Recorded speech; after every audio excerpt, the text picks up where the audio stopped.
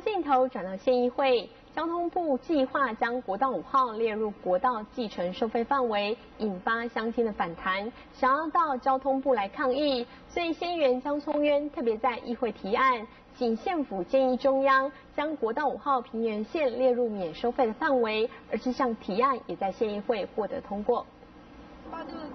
县员江聪渊表示，国道五号无论是设计规格还是限速，都只有西部县市快速道路的标准，何况国道五号平原线总长二四公里，而国道六号却有三十四公里，国道十号也有三十三公里，都比国道五号平原线还要长。如果以长度来作为收费标准，国道五号平原线应该要比照横向国道免收费。因此，特别在县议会提案，请县府建议中央将国道五号平原线列入免收费范围。啊，咱宜兰的乡亲啊，拢认为讲啊，这国道啊五号的平原线啊，要甲咱列入继承收费，拢是非常的无道理。所以啊，啊，咱特别伫宜兰县议会来提案哈，啊嘛经过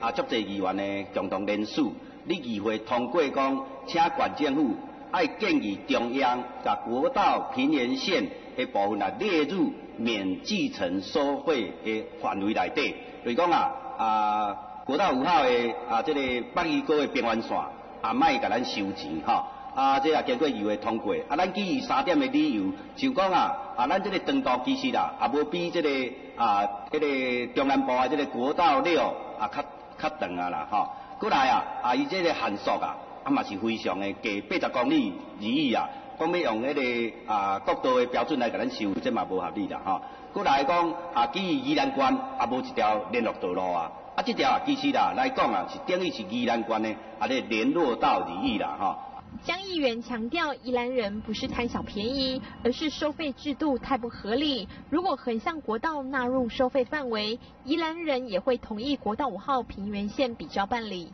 宜兰新闻记者赖福兴采访报道。